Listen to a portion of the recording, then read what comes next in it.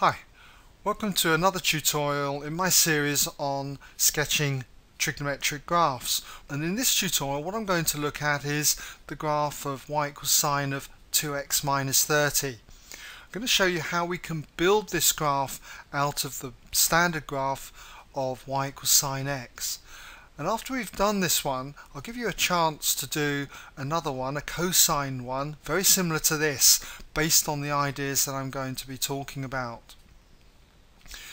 Okay so how do we go about sketching this one? Well first of all as I said it's based on one particular graph and that is y equals sine x and what I'm going to do is let f of x equal sine x.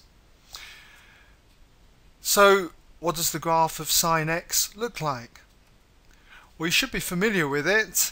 It basically is a wave that goes from minus 1 to 1 crosses the x-axis at 0, 180 degrees and 360 degrees and you can see that my x-axis goes from 0 to 360 degrees and is split up in 15 degrees intervals okay? So how do we head towards this graph here?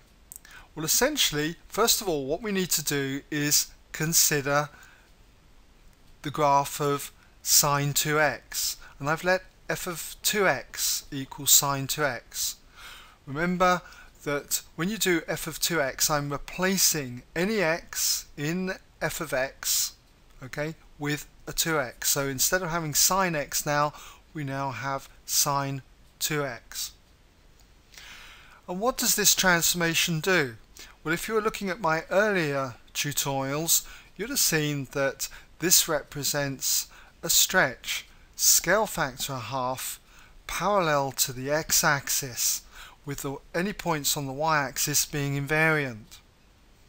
So basically this means that any point on this curve, okay, any any point, let's say this one here at 90 degrees across and one unit up, gets pushed towards the y-axis. So instead of being at 91, it's now half That distance is half so it appears at 45, 1. Okay, this point here at 180 degrees 0 now gets pushed towards the y-axis by half and it now goes to 90 degrees. Dip down here at 270 minus 1 gets pushed towards the y-axis, ends up at 135 degrees minus 1. And finally 360, 0 gets pushed to 180 degrees, 0. So you get something looking like this. Okay? Now remember that the sine wave will carry on like this past the 360 degrees. So what we can do is just continue this wave beyond what I've got here. So we'll just put that on. Okay, so hopefully you can see this wave continuing on. So that is sine 2x, f of 2x in this case. Now how do, do we go from here? Where do we go to build this up? Sine of 2x minus 30. Now you've got to be very careful over this stage. What I'm going to do is let g of x equal sine 2x now. And what I'm going to do is let this x be x minus 15. I'll show you why. Okay, we're going to consider g of x minus 15. I'm going to replace the x in sine 2x with x minus 15. So we end up with 2 bracket x minus 15. So that when I expand this, I get 2x minus 30, what we need to plot here.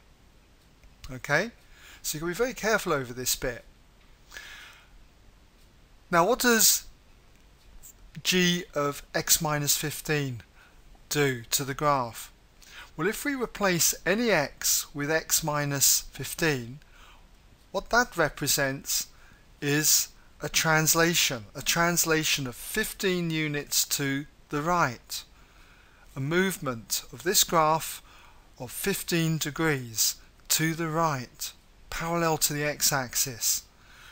So if we take this point here at the origin, clearly it's going to move now to the 15 degrees. Where this graph peaks at 45 degrees 1 is now going to move 15 degrees to the right. And instead of being at 45 degrees is now going to be at 60 degrees.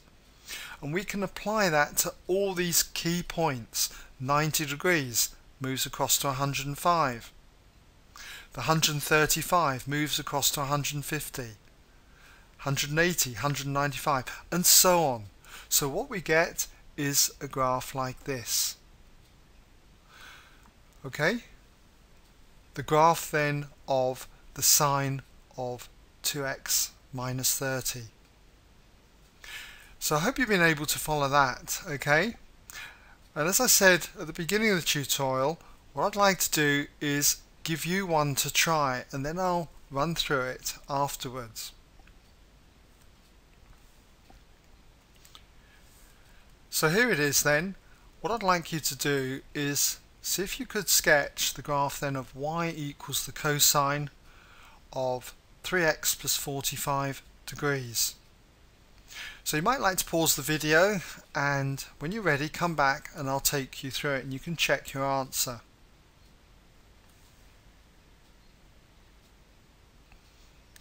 Okay, well let's see how you got on.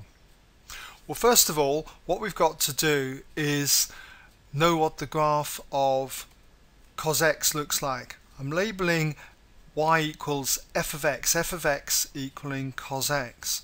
So what does the graph of cos x look like?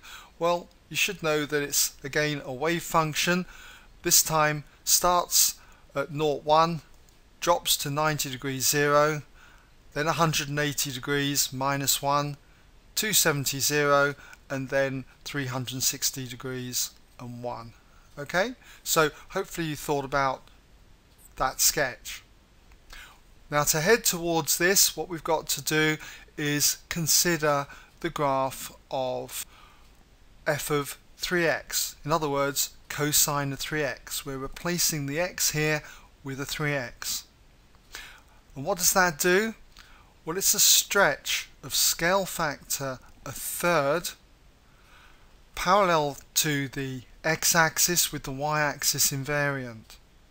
So in other words, any points on this curve get pushed towards the y-axis and their values are a third of what they are on the x-axis. So for instance this point here at 90 degrees if we do a third of that becomes 30 so we can imagine that this curve starts here remember points on the y-axis are invariant and it's going to drop down to the 30 degrees this point here at 180 degrees minus 1 gets pushed towards the y-axis. We third this value of 180, a third of it is 60.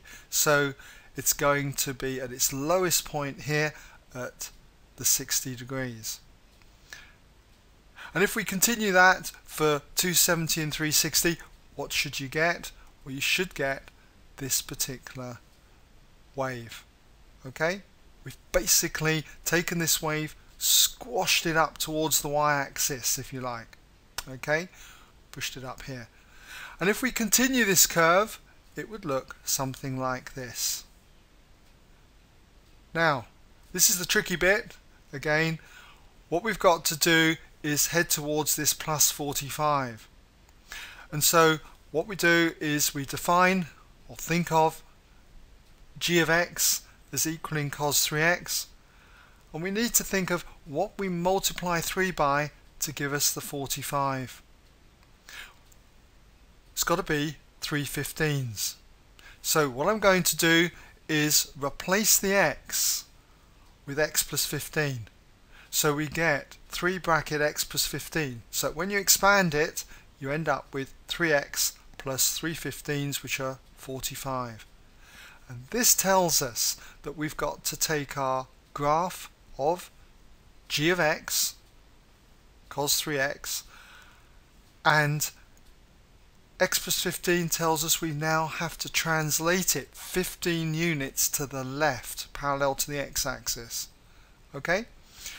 So all our points on here we just got to slide our curve then 15 units to the left. So if we take a point like this it's at 30 degrees it's now going to end up at the 15 degrees. Point like this one 120 1 just moves to the left 15 degrees. Now going to be at 105 1 and so on for all the points. So what do we have? This graph. Okay? So I hope you've got that and that you can apply this technique then to any graphs that have this kind of format